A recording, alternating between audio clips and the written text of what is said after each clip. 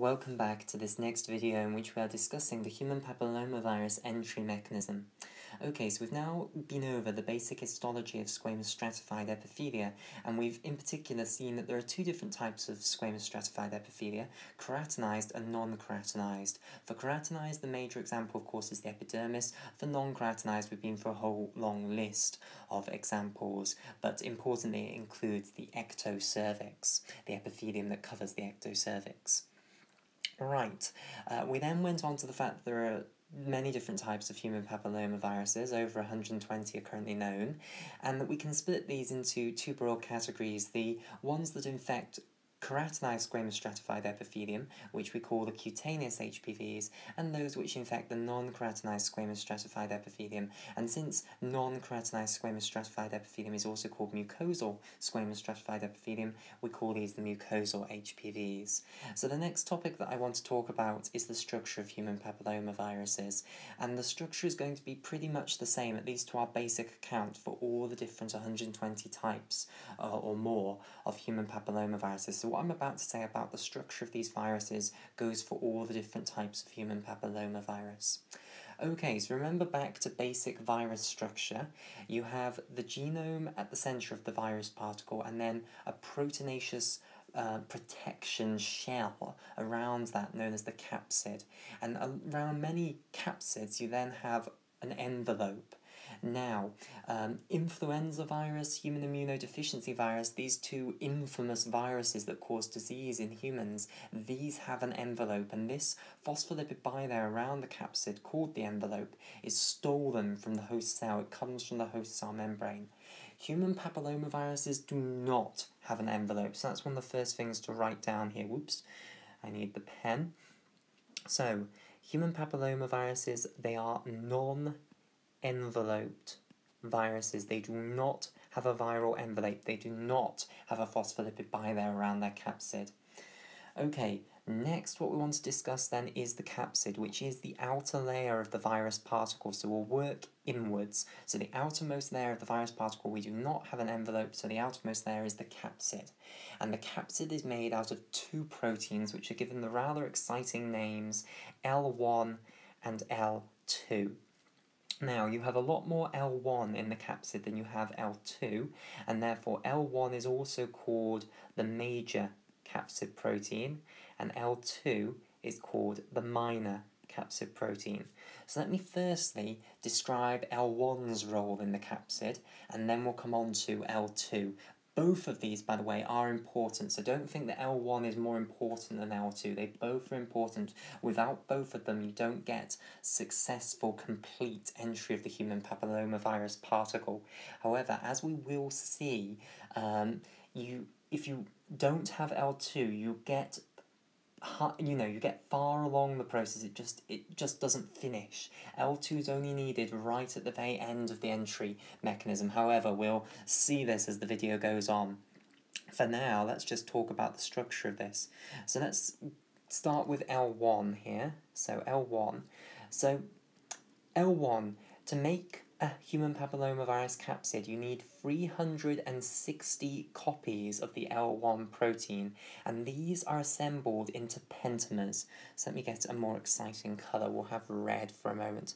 Okay, so these 360 copies of the protein, you need to build me 360 copies of the L1 protein, and then I will assemble them into pentamers. Now, pentamer just means a five-membered structure. So let's just draw a pentagon here like so.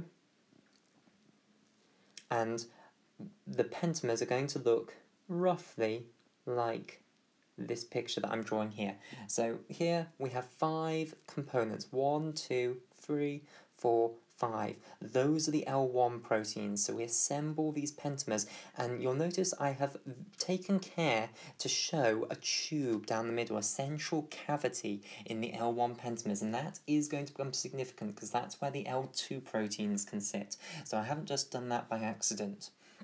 Okay, so a little bit of mental arithmetic for you now. If I start off with 360 L1 proteins and I assemble them all into pentamers, how many pentamers will I end up with? Well, you divide 360 by 5, and the simple way of doing that is dividing it by 10 and then timesing by 2. So divided by 10, we get 36, times it by 2, we get 72.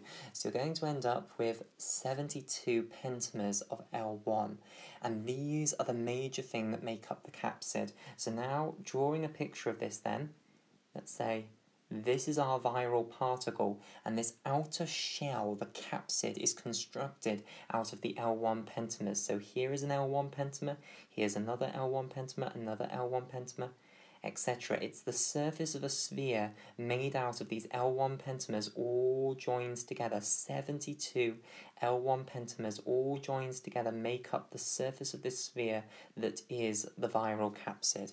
So, just to hammer this point home, this is hollow. This is just a shell, an outer um, proteinaceous shell, which we call the viral capsid, and it's constructed out of 72 pentamers of this major capsid protein L1. So you've got the message, L1 is extremely important. L2, you do not need L2 to build a capsid, you do need L2 to build a successful human papillomavirus. This functions as a shell on its own. However, the virus doesn't complete the entry mechanism without L2 proteins, at least some L2 proteins. So you do need some L2 proteins. So let's now talk about where the L2 proteins go. So the L2 proteins can insert in this canal here, and I just want to draw an L1 pentamer from a different angle. So I'm now going to imagine I'm standing on the side of this and looking at it from the side. So I'm just drawing this in here.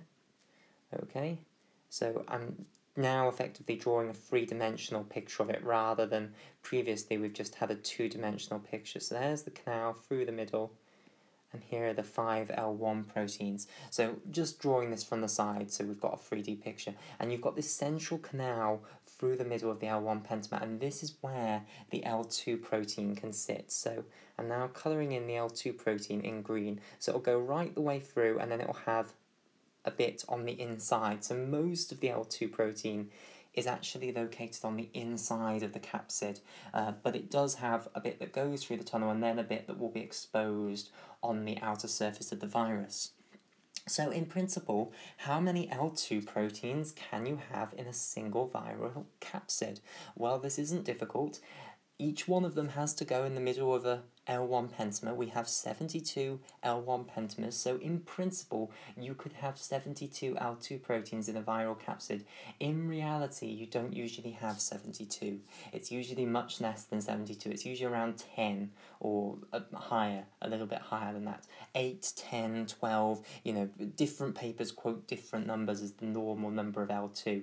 But the point is, it could, in theory, go up to 72. It could not go higher than 72. So that's why I've put less than or equal to 72. So, to build the capsid then a human papillomavirus particle, uh, what you do is you take 360 L1 um, molecules, you pentamerize them together, okay, you assemble them into the surface of a sphere like this, and onto some of them you insert L2 proteins in this way. So just to complete up the picture then, some of these are going to have L2 proteins, but not all of them. So most human papillomavirus particles will not have uh, 72 L2 particles, you'll have much fewer. So it'll look more like what I've shown here with just those five that I've shown there having L2 proteins on this side of the viral capsid that we're seeing. Okay, so that's the capsid.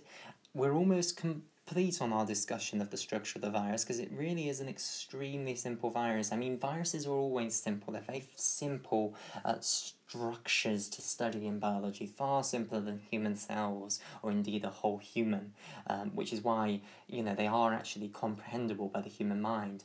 And human papillomavirus is a specifically uh, simple example because it doesn't have the envelope that makes HIV and influenza virus so much more complicated to study. So inside the capsid then you just have the genome. So let's imagine we've cut through our viral capsid now and we'll just represent the viral capsid now by this uh, red annulus here. So this is a cross-sectional view now. And then inside the interior of the capsid, you'll then have the genome. And I'll put the genome here in blue. So this is what we could call the vDNA for short. This is a nice abbreviation. That just stands for viral DNA or we could call it in the viral genome. Now, how long is the viral genome? Well, it's 8,000 bases long, so 8 kilobases uh, long, so it's not actually that long at all. 8,000 uh, base pairs is how long this is, and as you can see from what I've drawn there, it's a circular genome, so it's not linear, it's a little circle of DNA, and that's a very small circle of DNA. So this is really, you know, getting to the point that the human mind can understand this. This is all these things are. Uh, a capsid like so, and then this viral genome of eight kilobases long. To complicate the matter, just to add a little complexity in here that is unfortunately true, it just makes it a little bit more complicated. The viral genome does have some histone proteins um, associated with it. It's wrapped around a few histone proteins. So if I was to draw a more accurate picture, it might look something like this. Ooh, the pen's not working. Ah, here we go. So it might look something like this. I'm drawing the DNA wrapped around histone proteins here. Drawing it badly wrapped around histone proteins. Remember, DNA, when it wraps around histone proteins, it goes around twice. Oops. And I'm getting confused from making it go around twice. So the point is that each of these, there will be a histone complex there, so I'll draw them in red like so. So these are the histone complexes with the DNA uh, wrapped around it. So in reality, the viral genome would look a little bit more like this. Um, but to keep things simple, let's have this simple picture here. So these histones, you might be wondering where they came from. They, again, were nicked from the host cell, so they're not something that's coded for by the viral genome. The viral genome is incredibly simple. It's 8,000 bases. It only has 8 genes on it, and that does not include genes for histone proteins. So it relies on the host cell giving it a few histone proteins to wrap its genome around. Okay, so that is the structure of human papillomaviruses, and this is true for all the different types of human papillomaviruses. Yes, for the different types, they will have slightly different genomes, slightly different genes coding for the L1 and L2 proteins, and therefore the L1 and L2 proteins will have slightly different combinations of amino acids. So if you look at the primary structure of the L1 proteins between the different types of human papillomavirus, you will find discrepancies. However, overall, they still perform the same role, so uh, to keep this simple, we can have this picture for all our different human papillomavirus types. Okay, so uh, there's the structure of human papillomaviruses. We are now ready to begin with the entry mechanism. So where do I want to go for this? It might be good actually to start over here. So we are now going to discuss the actual entry mechanism. We've done all the background stuff now. Uh, we understand the structure of HPVs, we understand the tissues that they're going to infect. Now remember, human papillomaviruses, when they infect a squamous stratified epithelium, they always have to infect the basal cell layer. They cannot infect the more superficial layers. This means that a microabrasion usually has to occur in order for human papillomaviruses to gain access to the basal cells. Because if the epithelium is perfectly intact, then how on earth would a human papillomavirus out in the environment uh, actually get to the basal cells? So the first thing that has to occur is a microabrasion usually to the squamous stratified epithelium. And of course, if we're dealing with a cutaneous HPV, then the squamous stratified epithelium that we'll be dealing with will be the epidermis. If we're dealing with a mucosal HPV, it'll be one of the mucosal squamous stratified epithelia. However, the entry mechanism we believe is the same, so we can generalize it now. We can just refer to a basal cell. Okay, so what has to occur then is a microabrasion so that you have the basement membrane exposed and then you've got the basal cells next to this portion that the microabrasion has occurred on, and of course then the virus will be able to gain access to those basal cells. So I think I'll just draw a fresh picture here, starting again with the basement membrane. So here, this is the basement membrane, and now I'm going to draw the basal cell much bigger than previously. Um, let me choose my pen size. I'll do it in a larger pen so it shows up better. So here, this is going to be my basal cell that's now going to be exposed because it's next to this portion of um, epithelium that has uh, had the microabrasion occur. So let's say the microabrasion has occurred here. So now this portion is exposed, and here is this basal cell next to the microabrasion. Of course, there would still be cells above it. So it would have midzone cells up here and superficial cells up here. But to keep the picture simple, let's just draw our basal cell here. Okay, so uh, let's now um, discuss how this is going to occur. What's the pathway then? So let's put on our human papillomavirus. So we'll have the bad guy in, in evil red here. So here comes the human papillomavirus, which I'll just draw. That's the capsid. And here, this can represent the genome. So this is the human papillomavirus, HPV, up here. And this, of course, over in white here, the shining good guy, uh, this is the basal cell. Right, uh, so how does the entry occur? So we now understand how the human papillomavirus can actually get exposed to the basal cell. The first thing that has to happen is it has to bind to the basal cell. Now, we do not think it initially binds directly to the basal cell. We think that what actually happens is it first binds to the basement membrane and then it gets transferred onto the basal cell. Just because the basement membrane has so many more, you know, it's so much more likely that when this HPV enters this wound, that it's going to hit the basement membrane first rather than hitting the basal cell.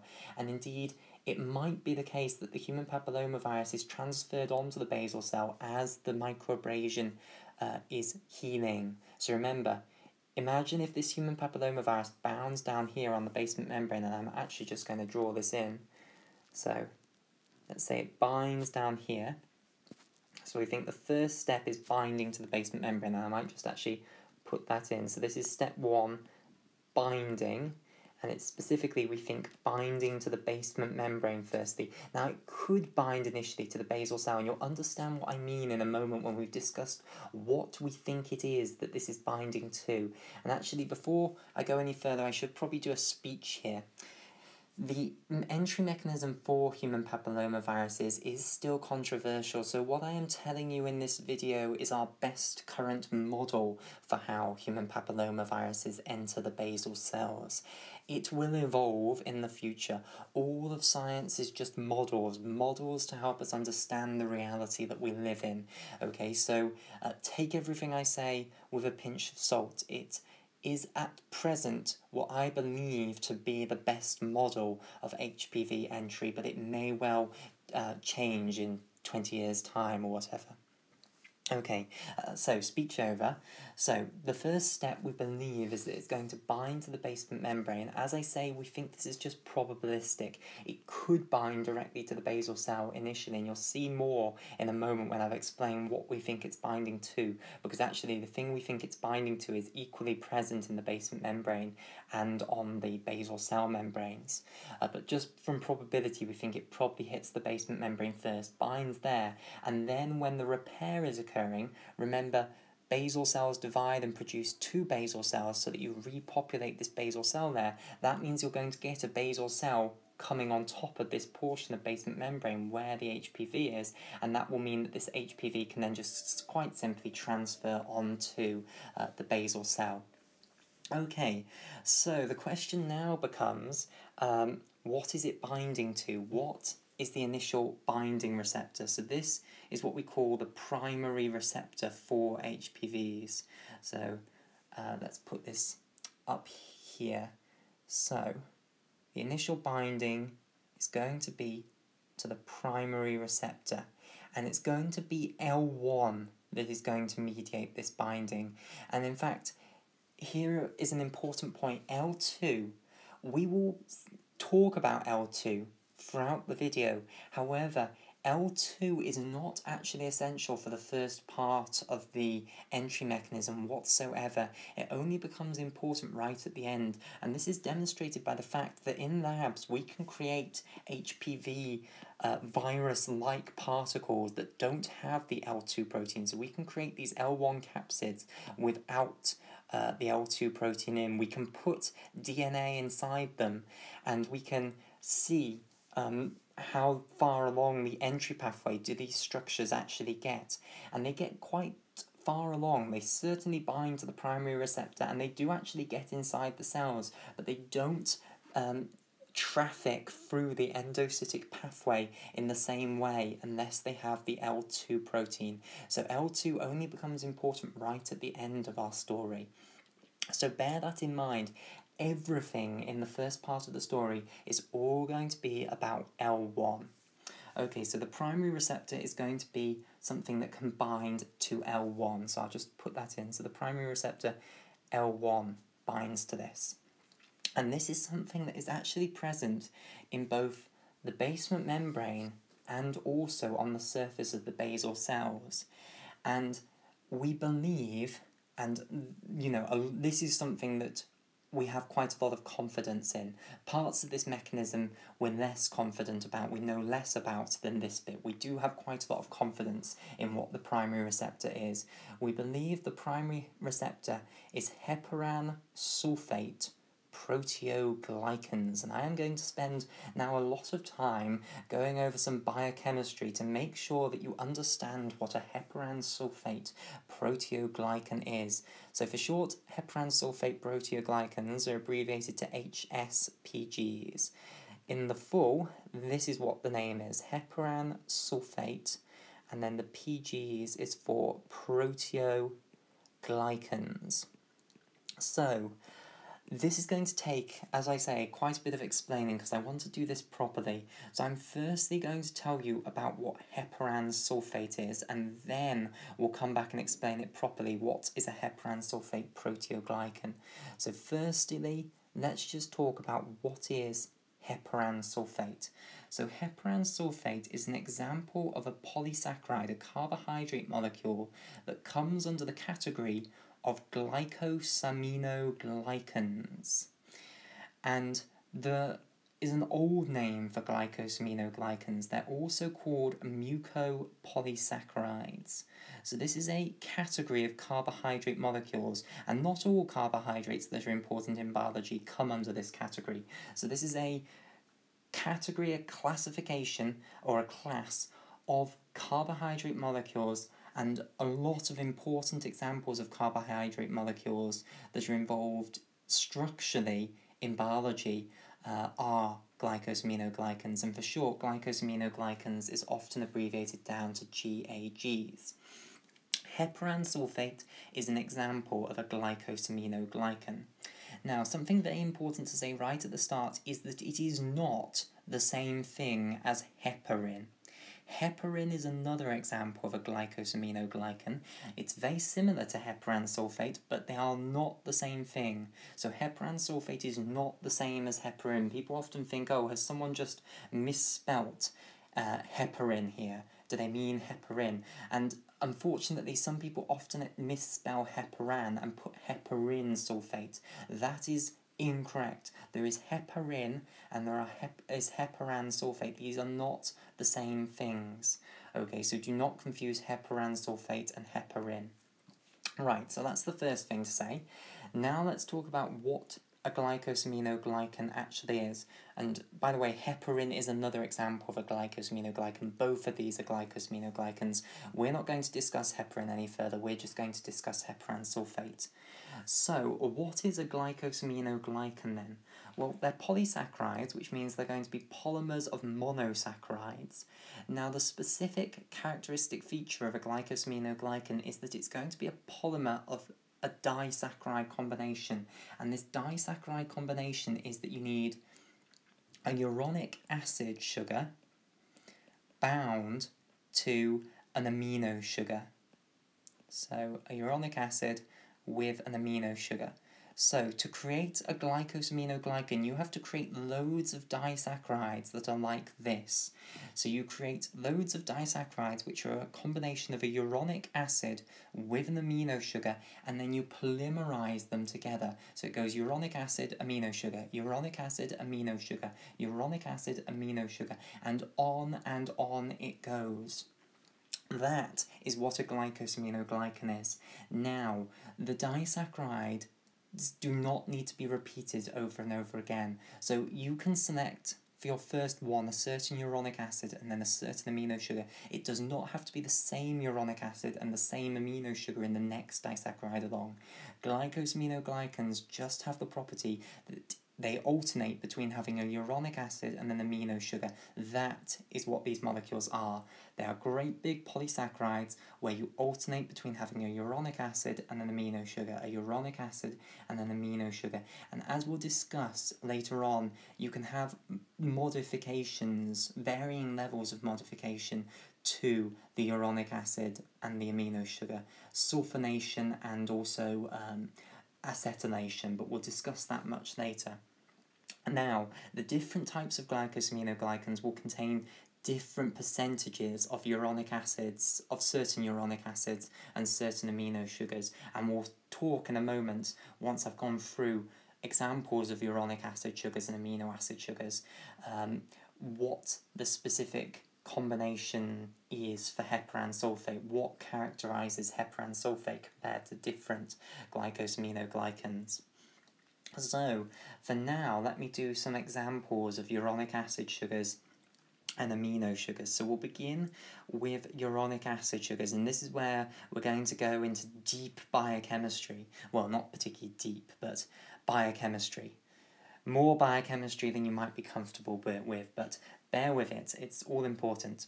So, uronic acid, there are two important uronic acid sugars, and they are glucuronic acid and these, by the way, are all monosaccharides. Uronic acid sugars are monosaccharides, and amino sugars are monosaccharides. So glucuronic acid is an example of a uronic acid sugar, and also the other one is iduronic acid, or iduronic acid. Okay, so these are the two examples of uronic acids. Now, I'm actually going to show you the structures of these monosaccharides just to convince you that they are monosaccharides.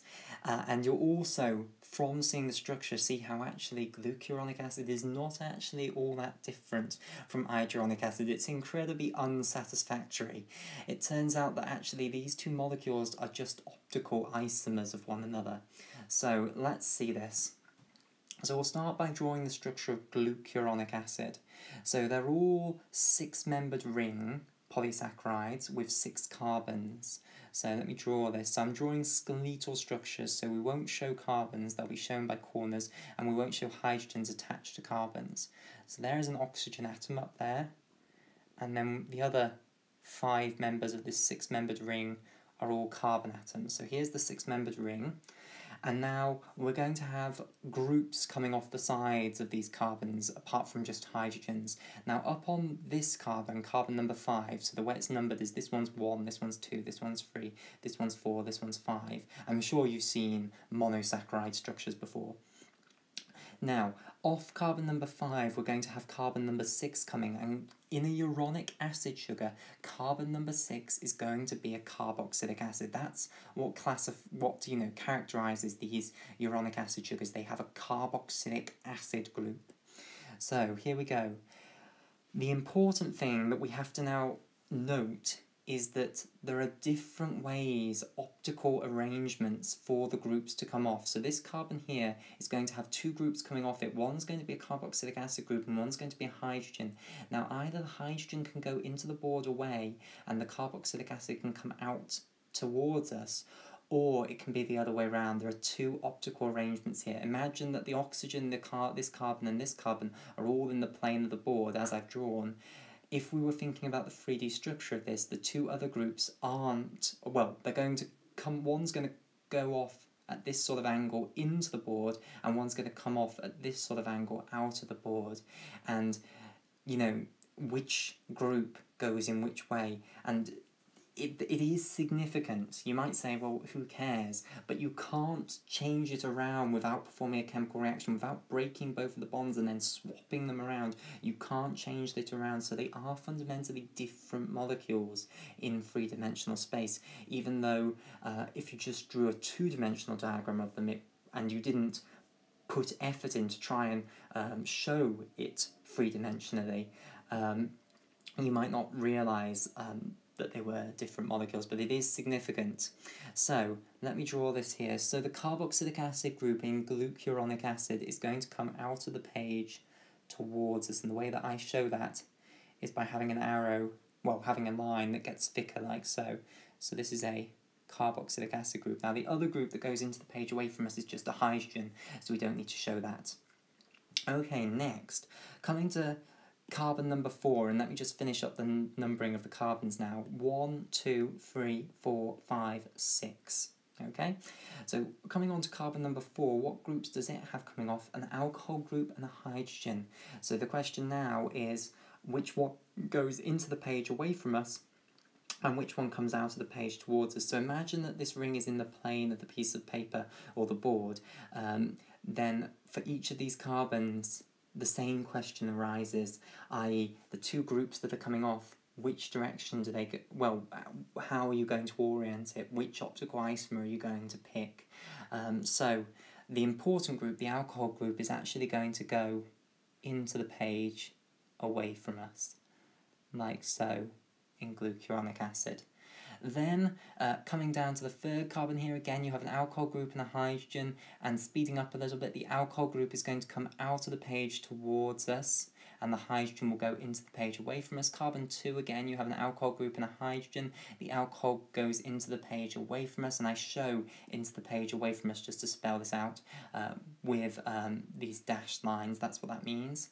And then finally, the carbon in position number one is going to come out of the page towards us, like so. So this structure that I have drawn for you here, this is what people mean when they say glucuronic acid, this molecule. However, now it gets slightly more complicated and I am actually going to do this slightly more complicated story because what we've done so far is a little bit too simple. This is the molecule that people mean when they say glucuronic acid generally. However, if you're being strict, there are actually four different types of glucuronic acid that are all optical isomers of one another, and the structure that I have strictly drawn for you is what you would call beta D glucuronic acid rather than just glucuronic acid.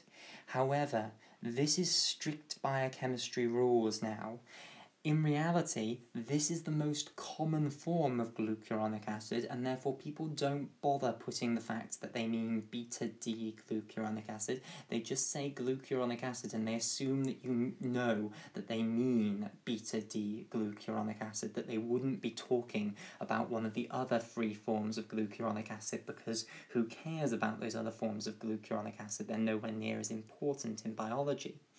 However, I want to do things properly, so I'm now going to tell you about the different forms of glucuronic acid. So we've got two labels here. So one of the labels is the beta and one of the labels is the D. Now, you can have alpha or beta forms of glucuronic acid and you can have L and D forms of glucuronic acid. That means that the four different forms of glucuronic acid are alpha D glucuronic acid, beta D glucuronic acid, which is the one I've got drawn here, alpha L glucuronic acid and beta L glucuronic acid. Okay, now let me tell you how the structures actually differ. So this is beta D glucuronic acid. Let me now tell you about what alpha D glucuronic acid looks like. So alpha D glucuronic acid has this uh, alcohol group on carbon number one going in the opposite direction, going into the page. So let me try and color code this in. So if we wanted alpha D glucuronic acid, what you would do is you'd have the alcohol group going into the page here and the hydrogen then coming out of the page.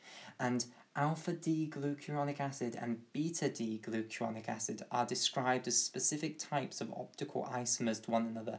They are called anomers of one another, and this is a word that you just use in carbohydrate chemistry um, because this carbon here of the carbohydrate molecule, this is known as the anomeric carbon.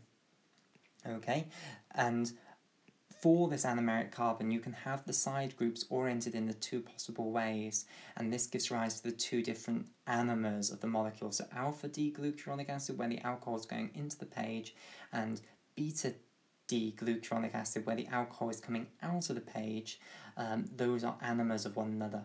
Now, you might think that deciding whether a molecule is alpha or beta all you need to do is ask, does the alcohol group come out of the page or go into the page? If it goes into the page, then it's alpha, or if it comes out of the page, it's beta, but that's not actually the rule. In the case of this one, it works that way. However, the rule is actually that you need to look at the fact, is it going the same way as the sixth carbon group coming off the fifth carbon? So if the group, the major group, which is the alcohol here, goes the same way as the sixth carbon, in in the case of the beta anomer they did, then it's beta. Whereas if they're going in opposite directions, if the alcohol group goes into the page and the sixth carbon comes out of the page, then it's called uh, alpha, the alpha anomer. So that's the actual rule for deciding whether we're talking about the alpha or beta anomer. You look at whether it's coming the same way as the carbon, uh, the sixth carbon. Okay, you'll get the hang of this. We're going to go through lots of other structures, so you'll get used to it. Okay, if you haven't seen this before. Now, uh, let's talk about L-glucuronic acid. So, L-glucuronic acid versus D-glucuronic acid is the enantiomer. So, L is different. It's not an anomer. It's an enantiomer.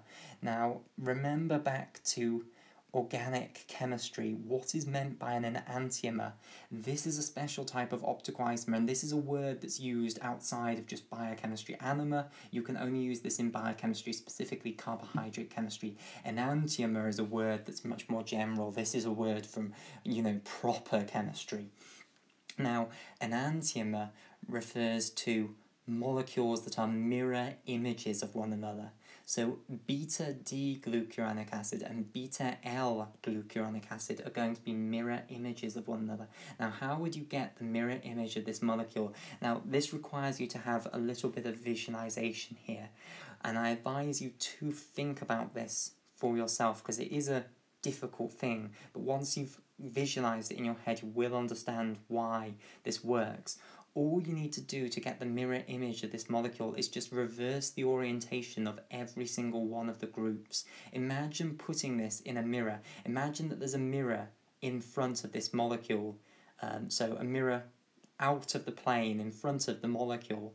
And then what would the mirror image molecule actually look like? Well, of course, this ring would be in exactly the same position, but all of these groups would be going in the opposite orientation because this one coming out of the page, that would be coming towards the mirror, and therefore the mirror image in the mirror here would have to be going out back towards the plane of the whiteboard here, uh, if you know what I mean. It might help if I actually do draw this, I will.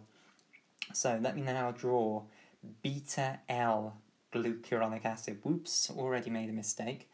Missed out the oxygen. Okay, so this, I hope I can convince you, is the mirror image of the beta D glucuronic acid that I've drawn there. So again, I'll spell it out. Imagine there is a mirror in front of the board that is going to reflect this. So you would still end up with the six-membered ring exactly where it was, but now the carboxylic acid group will have to go into the page away from us, uh, this alcohol group here will have to come out of the page towards us. Uh, this one will have to go into the page away from us. I'm just inverting all of these groups and this will end up being the mirror image of the other one. Like so. This one will have to come out of the page towards us and then if we're talking about beta D-glucuronic acid, this one will now have to go into the page away from us. So this molecule that I've just drawn here, this is beta L glucuronic acid. Okay, and let's just revise the beta and the alpha anomers. Why is this the beta anomer? You might have if you had thought that the definition of the alpha and beta anomers was to do with whether this group was going into or out of the page, you might have wanted to label this up alpha L glucuronic acid, but you would have been incorrect. This is beta L glucuronic acid because this alcohol group is going the same way as the sixth carbon. So remember the proper definition of alpha and beta. Same side, beta, opposite sides, alpha. Okay, so this is beta L-glucuronic acid, the mirror image of beta D-glucuronic acid. And then if you wanted alpha L-glucuronic acid, all you'd have to do is switch this around to get the anomer, have the alcohol group now coming out of the page towards us. So, there's a bit of biochemistry for you, a bit of naming up of these monosaccharides. These are all the four different forms of glucuronic acid. These are all glucuronic acid molecules. However, the beta-D glucuronic acid molecule is by far the most important one. This is the one that is most prevalent in biology, and therefore, when people just say glucuronic acid and they do not clarify which one they mean, they mean you can take it as they mean beta-D glucuronic acid, and therefore this is is the structure above all the others to learn. This structure here. Ignore the red bit. This structure here. So from now on, I will just be talking about glucuronic acid, and I will mean beta-D uh, glucuronic acid. But I'm glad that I've taught you a bit of biochemistry background here. Okay, so now let's talk about iduronic acid or iduronic acid. So let's do the structure of this, and I want to find some new interesting colour. We'll have uh, a marini blue sort of colour.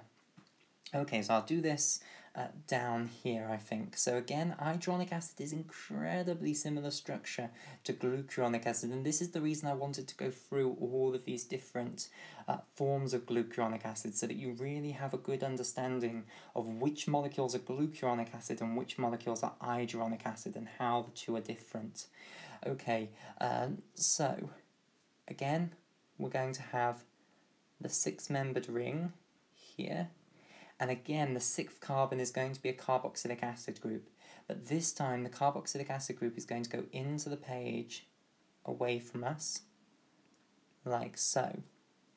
Okay, oh, and I missed something off when I was talking about how you decide which enantiomer of glucuronic acid is going to be the D and the L one. So I told you about how we decide which one's alpha and which one's beta, but I didn't tell you about how we decide which one of these is going to be L and which one's going to be D. So the one with the carboxylic acid group coming out of the page towards us is always called D, and the one, sorry, not just carboxylic acid group. The one with the sixth carbon coming out of the page towards us is going to be D, because this is applied for more than just uronic acid sugars. And the one with the sixth carbon going into the page away from us is called L. So the L and D definition, they're enantiomers of one another, and the way that you decide the naming actually is just on whether it's coming out of the page towards us or into the page away from us. Whereas alpha and beta, it's more common, uh, more complicated. It's to do with um, uh, is the anomeric alcohol group going the same way as the sixth carbon, which determines the naming of the L and D, or is it going the opposite way, alpha? Okay, uh, so back to iduronic acid. So again, iduronic acid, there's a major form of it, but there are again actually four different forms, and the naming works exactly the same way. You'll be relieved to hear. Once you've learned this complicated naming system, it works for all of them. Okay, so that's the good news here. So, now putting the other ones on here, off the fourth carbon, the alcohol group goes into the page away from us, and then everything's the same as in beta-D glucuronic acid now.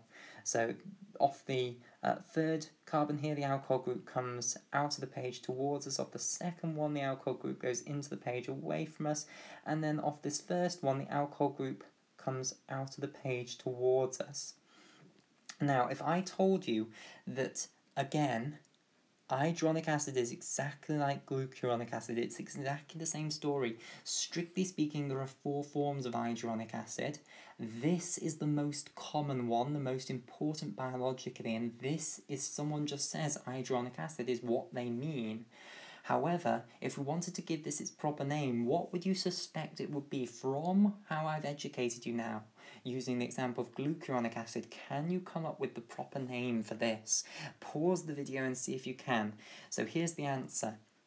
So, it's going to again have the LD naming, and they're going to be an enantiomers of one another. So if you took the mirror image of this, it would be an enantiomer. Which one's going to be L and which one's going to be D? Is this one going to be L or is this one going to be D? It's going to be L because the sixth carbon is going into the page away from us. So this is L, iduronic acid, and then we have to decide is it alpha or is it beta? Well, the anomeric alcohol group, the alcohol group coming off the anomeric carbon here, is it going into the page away uh, from, uh, sorry, is it going the same way as the sixth carbon or the opposite way to the sixth carbon? It's going the opposite way, so that means this is alpha L iduronic acid. So in utter contrast to the most common form of glucuronic acid, which is beta D, the most common form of iduronic acid is alpha L iduronic acid. But you will notice that these two molecules, alpha L iduronic acid and beta D glucuronic acid, which are the two most common forms of iduronic acid and glucuronic acid respectively, they're actually only different by optical isomerism in one carbon, effectively. And there is another fancy name. We've had anomer and enantiomer. There's another word that you can use for this. Epimer means optical isomer that only differs in the orientation of the groups coming off one carbon. And again, you can only apply this for carbohydrate chemistry, really. So these molecules are epimers of one another because they only differ from one another because of the orientation of the groups on one of the carbons, so they're very similar optically to one another. Okay, but again, there are four forms of iduronic acid. If we wanted beta L iduronic acid, we'd have to turn this alcohol group to going into the page away from us. If we wanted alpha D iduronic acid, we'd have to take the mirror image of this. We'd have to reverse every single one of these around. And then if we wanted um, beta D iduronic acid, we'd have to reverse everything around again, and then we'd have to have this one going the same way as the carboxylic acid group, and now the carboxylic acid group will be coming out of the page towards us, so this would have to go um, in out of the page towards us as well. So we'd swap everything around except this one actually. Okay, so that is iduronic acid. So these are the two major examples of a uronic acid sugar glucuronic acid, strictly speaking, I mean beta D glucuronic acid, and iduronic acid, strictly speaking, I mean alpha L iduronic acid. Okay, so in this position, then you can have this molecule or this molecule. So we've done the strict bit now. Now I'm going to do what everyone does and just refer to beta D glucuronic acid is glucuronic acid and alpha L iduronic acid as iduronic acid. So in this position we can have glucuronic acid or iduronic acid molecules. So that's the uronic acid molecules. We will have a break here because we've been going for 45 minutes now. In the next video, I will now tell you about the amino sugars that you can have here, glucosamine and galactosamine, and then I'll tell you about the fact that we can acetylate and sulfonate these monosaccharides in this polysaccharide, and then I'll tell you about heparan sulfate, this specific example of a glycosaminoglycan. Okay, so see you in the next video.